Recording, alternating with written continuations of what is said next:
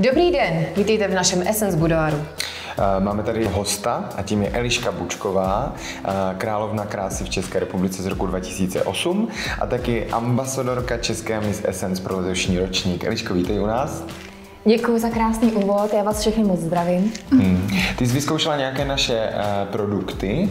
Uh, slyšel jsem, že jsi nadšená uh, z rtěnek Narty, tak uh, můžeš nám o nich něco říct? Vyzkoušela jsem uh, úžasné matující rtěnky. Já teda jsem milovník rtěnek a nosím je i pod rouškou. Mm-hmm. Protože tak pro takový ten pocit, eh, že jsem ženská, že jsem upravená, prostě to potřebuju k životu. A matující rtěnky eh, z nové edice Must Have Edition jsou naprostá bomba. A taky jsem si oblíbila tady ty, s dovolením, tady ty tuštičky. Ty jsou hodně oblíbené. To je něco mezi vlastně rtěnkou a leskem narty, tak to říkám laicky a jsou taky úplně super. No a dneska jsem si jako úplnou novinku vyzkoušela tady ty rozjasňovače. Sáhla jsem po jedničce, potom nejsvětlejším a musím říct, že to je naprostá bomba, protože já používám sama opalovací přípravky, takže občas se úplně netrefím a zhnidnu víc, než bych měla. A tady ty rozjasňovače jsou teda fakt super. Krásně kryjou, krásně se uh, vlastně přilnou k pokožce a nedělají mapy, což je pro mě důležité. Pro nás je hlavně důležité, že se líbí tobě, protože ty se, co se týká make-upu, už nějakou dobu pohybuješ v českém showbiznisu. Já jsem hlavně studovala, že jo, kosmetickou školu, takže oh, co, se, co se týče make-upu a dekorativní kosmetiky, tak eh, to je můj koníček. Já chodím nalíčená, i když jsem třeba tři týdny zavřená doma, každý den. Eliško, já se tě zeptám, jaká je tvoje oblíbená barva? No, eh, nemám jednu oblíbenou barvu, protože eh, ráda střídám rtěnky i podle nálady. Každopádně, Tady z těch matujících rtěnek jednička, bych to vzala správně, jednička, je taková, která je na běžné denní nošení. Je to, je to něco, já tomu říkám, že to je cihlovo, růžovo, hnědo, taková vlastně jakoby hodně přirozená barva. Nude. Nude, ano, mm-hmm. děkuju. Eh, a tak to používám normálně na běžné denní nošení. A když se chci cítit opravdu jako samice, tak je to číslo pět.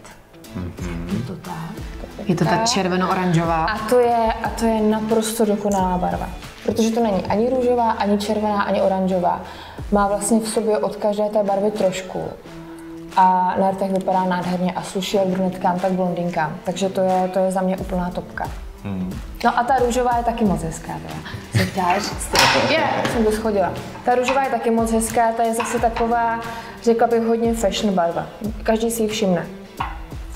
My jsme se hodně snažili u těch eh, nude odstínů zvolit takovou barvu, aby zuby vypadaly bílé, aby to pomohlo pleti, takže jsem rád, že se ti ta jednička líbí, protože to si myslím, že je opravdu starý odstín. Fakt je nádherná. A je, můžu mít, můžu mít uh, klidně tmavé kouřové oči nebo jenom řesenku a pořád vypadá hezky. Nebije se vlastně s tím zbrým make-upem, jak se říká. A co se týká odličování tady těch hrtěnek, tak máš nějaký tip, protože dost často se nás ptají klientky, uh, jak nejlépe a nejrychleji odlíčit. Já používám na rty, když mám matující rtěnku nebo dlouho držící rtěnku, eh, stejný odličovač jako na oči, aby tam byla olejová složka. Perfektní, ano, to je přesně to, co jsme chtěli říct pro vás, protože se hodně ptáte, jak odličit eh, tady ty rtěnky a myslím si, že to je úplně nejdůležitější, že musí být vždycky ta textura masná, aby ten pigment šel z těch hrtů pěkně dolů. Tak třeba kokosový olej, že jako úplně to máte doma v kuchyni každá, která vaříte právě. Eliško, a co máš momentálně na rtech? Uh, teď mám kombinaci, to vám hned ukážu, teď mám kombinaci jedničky, to je jako základ. Lehce přesto tady ta lososová. A takhle na špičku mám tady tu třpitiáru. A tohle je výsledný efekt.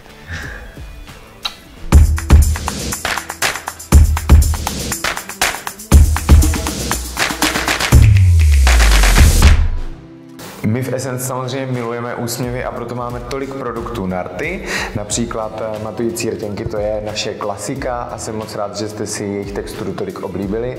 Potom můžeme taky zabrousit do klasických rtěnek, těch máme 6 odstínů a je to klasická krémová rtěnka, velice příjemná na rtech a s vitamínem E.